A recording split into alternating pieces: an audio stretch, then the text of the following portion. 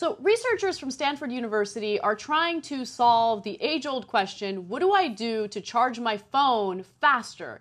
For some people, it could take a very long time to charge your phone, hours in some cases. If you have a Samsung like me, it can take only like 30 minutes, which is awesome. But anyway, uh, the researchers at Stanford nice are like, look, we want to charge our batteries in like 60 seconds.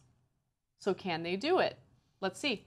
A team of researchers at Stanford ha- have built an aluminum, aluminum ion battery prototype, which offers several improvements over today's ubiquitous lithium ion batteries, including super fast charging times. The prototype, created by the Stanford researchers, consists of an aluminum anode and a cathode made of graphite, a combination of materials that allows for uh, producing sufficient voltage, about 2 volts, even after thousands of recharge cycles. So that last part's really important to me because if you notice, after a bunch of recharge cycles, your phone just doesn't charge the same way anymore. It either takes longer or the battery still drains a lot faster and it's annoying.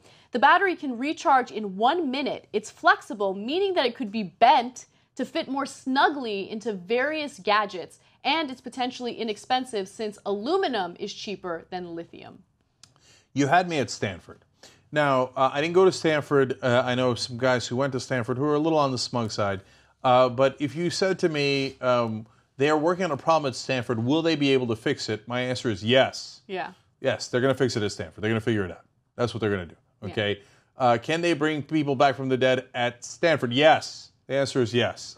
okay. So it's a technology issue. Uh, obviously, we just keep getting better and better. And isn't that wonderful? Yes. That we live in a world that where we assume that we're going to figure it out uh, and that technology is going to continue to improve our lives.